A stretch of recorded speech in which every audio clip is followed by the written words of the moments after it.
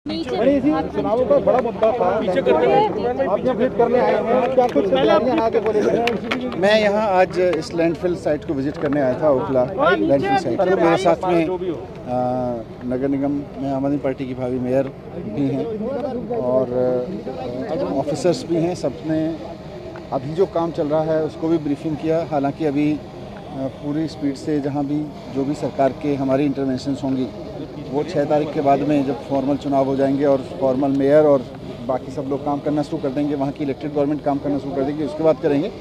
But उससे पहले भी मैं इसका एक जायज़ा लेने आया था।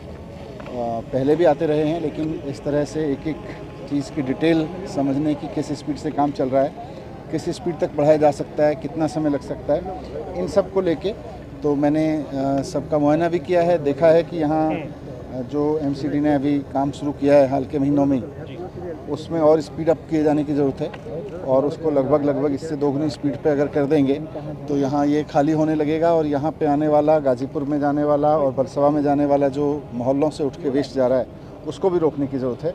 उसका भी प्लान बनाएँगे, उसका भी प्लान बनाया हुआ है, उसको इम्प्लीमेंट करेंगे और इसको भी जो यहाँ से आपने देखा, यहाँ मशीनें चल रही हैं इन मशीनों की संख्या भी बढ़वाएँगे इन मशीनों की संख्या बढ़ा के लगभग दोगुनी करके इसको दोगुनी स्पीड से यहाँ से उठवाएँगे। सर क्या ऐसा कोई आप टारगेट दे सकते हैं टाइमलाइन सेट कर सकते हैं कि इतने साल में इतने महीने में ये हटा सकते हैं या फिर अभी या कोई कोई अभी? देखिए प्लानिंग आप लोगों ने पंद्रह साल तो बिल्कुल नहीं लगेंगे जो एमसीडी में बीजेपी ने लगाया। हाँ। ये काम नहीं था उतने साल का। स्पीड अप करने की ज़रूरत थी बहुत बारीकी से मॉनिटर करने की ज़रूरत थी। एक बार जब एमसीडी में सारी चीज़ें चालू हो जाएँगी सुचारू हो जाएँगी तो मैं खुद हर हफ़्ते आके हर एक लैंडफिल साइट पे जाके मॉनिटर करूँगा खुद पर्सनली कितना उठ रहा है कितना आगे बढ़ रहा है जितनी स्पीड बढ़ाने के लिए कही गई उतनी स्पीड बढ़ी कि नहीं बढ़ी।